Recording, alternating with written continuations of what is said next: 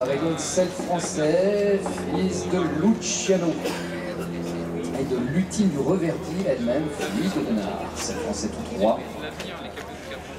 Né dans le Loiret au sein de l'élevage de Patrick Roux, qui en est d'ailleurs toujours propriétaire, Stéphane Thomas pour Cavani.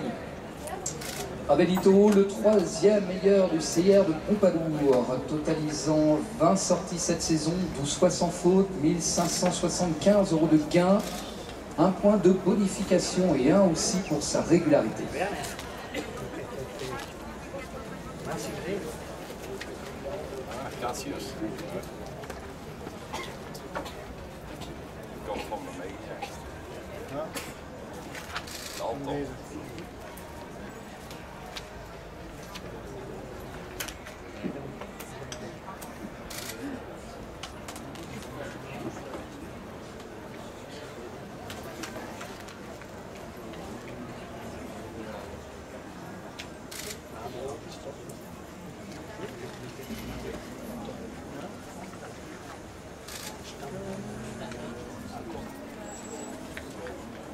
que